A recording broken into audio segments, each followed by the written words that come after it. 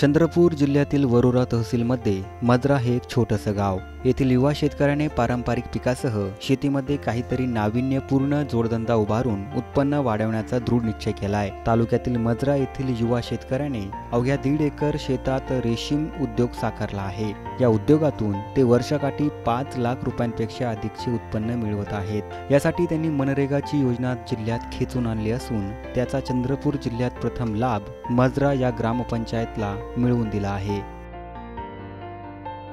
चंद्रपूर जिल्ह्यातील वरोरा तालुक्यातील मजरा येथील विजय मधुकर क्षीरसागर या तीस वर्षीय शेतकऱ्याची सर्वे नंबर साठमध्ये वडिलोपार्जित दहा एकर शेत जमीन आहे. या शेतीत कापूस तूर सोयाबीन चना गहू ही पारंपरिक पिके घेतली जायची परंतु त्यातून फारसे उत्पन्न मिळत नव्हते. यामुळे विजयने शेतीमध्ये पारंपरिक पिकांबरोबरच काहीतरी नवीन प्रयोग करून वेगळा पूरक जोडधंदा उभारून उत्पन्न वाढवण्याचे प्रयत्न करीत होता. आणि त्या दिशेने त्याने पाऊली उचलले. त्याचे शिक्षण रेशीम क्षेत्रात झाले असून रेशीम शेती उद्योगाची माहिती मिळाल्यानंतर त्यांनी वर्धा यवतमाळ अशा विविध जिल्ह्यातील रेशीम उद्योग शेतीला भेटी दिल्या. त्यानंतर दोन हजार अठरा साली त्यांनी स्वतःच्या शेतात रेशीम शेती उद्योग करण्याचे ठरवले. त्यासाठी त्यांनी कृषी अधिकाऱ्यांच्या मदतीने जिल्हा रेशीम कार्यालय चंद्रपूर यांच्या माध्यमातून दोन हजार अठरामध्ये सदर व्यवसायाचे मैसूर येथे पंधरा दिवसाचे प्रशिक्षण घेतले. त्यानंतर त्यांनी स्वतःच्या शेतात शेड बांधून जिल्हा रेशीम कार्यालय चंद्रपूरच्या माध्यमातून रेशीम कीटक संगोपन गृह वर्धा यांच्याकडे संपर्क साधला. व रेशीम कीड आणि त्याचे खाद्य असलेली तुती रुपये खरेदी केली. अठ्ठावीस दिवसाच्या तिसऱ्या अवस्थेनंतर रेशीम आळ्यांनी कोश तयार केली. या आळ्यांना तुतीच्या झाडांची पाने खाद्य म्हणून द्यावे लागते. या खाद्याच्या उपलब्धतेवर रेशीम उद्योगाचा विस्तार ठरलेला असतो. रेशीम आळीकडून कोश तयार करायला सुरुवात होताना त्यावर चंद्रिका जाळीत टाकली जाते. त्यामुळे कोश व्यवस्थित तयार होतो. पूर्ण कोश तयार झाल्यानंतर तो सिकंदराबाद जालना पूर्णा बडनेरा येथील बाजारपेठेत नेऊन विकला जातो. या कोशला प्रति क्विंटल पन्नास ते साठ हजार रुपये भाव मिळतोय. अशा प्रकारे वर्षाकाठी पाच बॅच मिळवून पाच लाखांपेक्षा अधिकचे उत्पन्न दोन हजार एकोणीसपासून विजय घेत आहेत.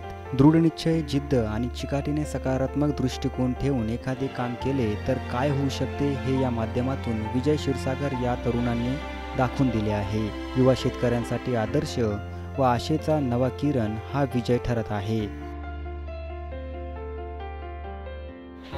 वर्षाकाठी जर उत्पन्न बघतो म्हटलं तर याचं कमीत कमी अडीच पावणे तीन लाखापर्यंत नेट प्रॉफिट जातं. कारण प्रत्येक बॅचला जो खर्च आहे तो वजा केल्यानंतर तेवढे पैसे उरतात. हा, एका बॅचला किती बाय कितीमध्ये किती उत्पन्न निघतं? म्हणजे पाल्याच्या क्वालिटीवरती आहे. जसं आपला पाला जर चांगला भरघोस आला असेल तर या दीड एकरमध्ये माझ्या दीडशे ते दोनशे अंडीपुंजाची बॅच चालू शकते. जर समजा मी दीडशे अंडीपुंजाची बॅच आणली तर दीडशे अंडीपुंजाच्या बॅचमध्ये ते सव्वा क्विंटलपर्यंत माल निघेल. आणि सव त्याच्यामधून आजच्या रेटप्रमाणे स- पासष्ट सत्तर हजाराची बॅच होईल. एका बॅच एका वर्षामध्ये. मग एका वर्षामध्ये नाही अशा एका एका वर्षामध्ये अशा पाच ते सहा बॅचेस निघतात. असं जर कॅल्क्युलेट केलं तर आपण कमीत कमी अडीच पावणे तीन लाख रुपये मिळतात. नेट प्रॉफिट वर्षाकाठी वर्षाकाठी पारंपरिक शेती व्यवसायात आणि या व्यवसायात काय फरक जाणवतो अं, पारंपरिकमध्ये जसं जर बघतो म्हटलं तर पावसा सर सर्व शेती पावसावर अवलंबून राहते. पाऊस पडला की मग पुन्हा लागवड करा. जर दुबार पेरणीचं पण संकट येते त्याच्यामध्ये. आणि याच्यामध्ये जर तुती लागवड एकदा केली तुम्ही की तुमची बारा तेरा वर्ष तेच तुती लागवड तुम्हाला पाला देत राहते. आणि बाकी पिकामध्ये जसं कीटकनाशक वगैरे फवारणीचा जो खर्च आहे तो याच्यामध्ये तेवढा नाही. कारण इथे कीटकनाशक जमणारच नाही. कारण आपल्याला इथे अड्या पोसायच्या असते ना त्याच्यामुळे अड्यांना ते कीटकनाशक वगैरे जमतच नाही असं आता मी दोन हजार अठरा एकोणवीस या वर्षी सुरुवात केली. आणि आज पाच ते सहा वर्ष झाले माझा हा व्यवसाय चालू आहे.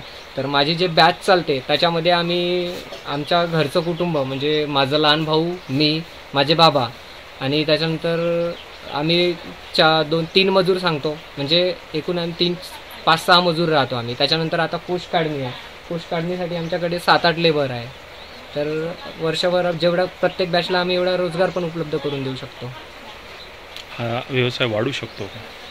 हो वा वाढू शकतो. आणि डिमांड किती आहे? डिमांड पाहतो म्हटलं तर फार डिमांड आहे. जसं आता मी जेव्हा सुरुवातीला नवीन केलं तेव्हा लोकांना वाटायचं का हाय काही वेगळं करतोय बा. हे ते म्हणजे निगेटिव्ह थिंकिंग होती लोकांची. आपल्याकडे येणार नाही बा आपल्या चंद्रपूर जिल्ह्यात.